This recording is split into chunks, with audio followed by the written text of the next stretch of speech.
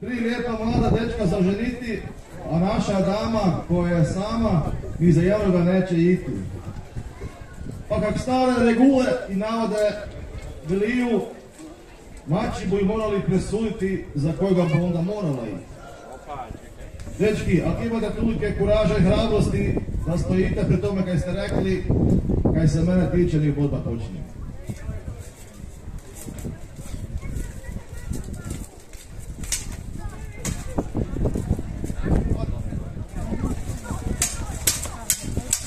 Evo, dečki se boriju, vitezovi, mladi vitezovi, boriju se za naklonost dame.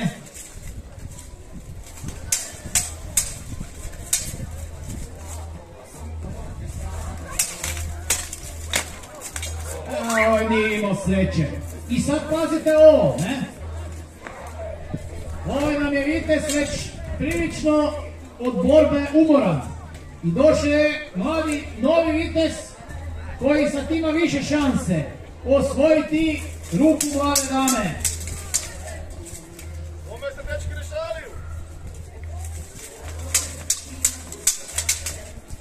Jer u ono vrijeme dama se osvajala mačem, a ne ko je preživio taj je osvojio damu.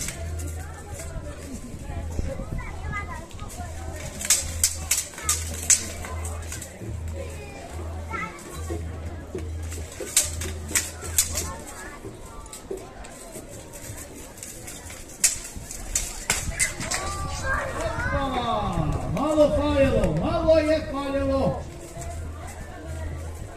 pušta. Gotovo. Evo nam viteza.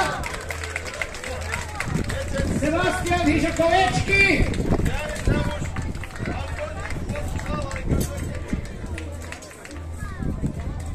Evo dame i gospodo, vidjeli ste kako domaći rješavaju. Ova predivna dama sad se mora ženiti, jest udavati. Evo, tako me to bilo u srednjem vijeku, jedna mala crtica. A kasnije najavljujem za nekih, kako se ne varam, nemam baš ure, ovoga nije onda bilo ure.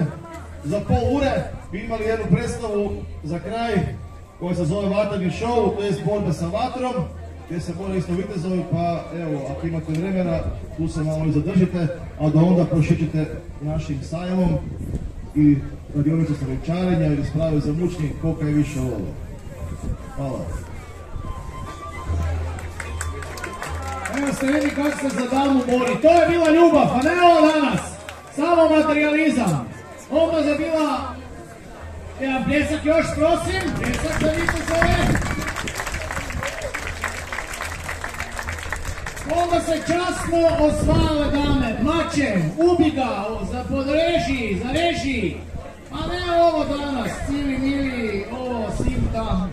Tu je život bil na kocki za damu, a ne ovoga, ne znam, gluposti ove koje kakve. Znalo se ko hoće damu i ko je jači.